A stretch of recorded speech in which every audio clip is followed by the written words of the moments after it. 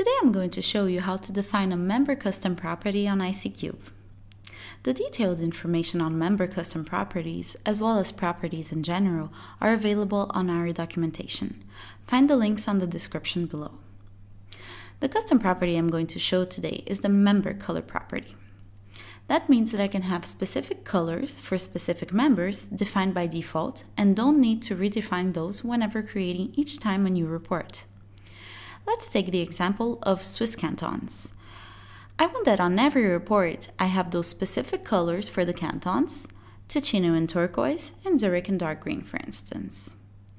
This is especially useful if you have a specific branding in your company and have a very specific color code for the products you are selling. For our example, as there are 26 cantons in Switzerland, imagine if you had to define these colors each and every time you want to create a new report. Laborious, time consuming, and let's face it, very boring and not at all efficient. So that's why you define members' colors properties. This definition is done when you are creating your data model. Let's therefore go to the builder and take a look at our schema. First thing you need to have is the color data for your members. On this data table, we have the canton's name abbreviations and our color hex codes.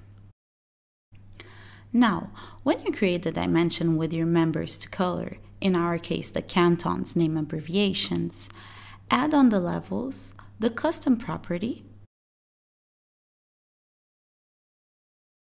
and select the according column. Make sure to have the exact same spelling as the property name found on our documentation pages, or else it won't work. And that is actually it. When your schema is ready, deploy it, and you can directly use the color property on the reporting. Let's create a new chart so you can see what I mean. Take a serial chart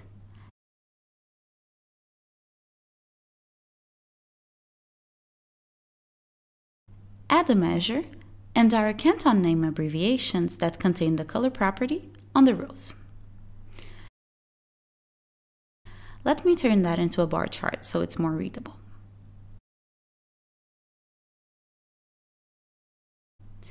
Now, on the color mode, select MDX, and on Access Property, select Rows, as it's where we've added the members containing the color properties.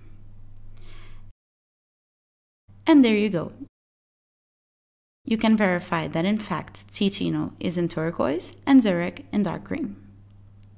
Of course, you can still define other color modes for these members.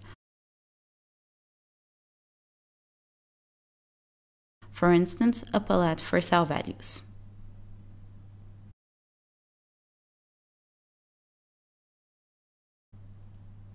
But still, if you are looking to use specific colors for specific members of your data, the member custom color property is definitely something that will be extremely useful on the long run. Thanks for watching, enjoy, and see you next time.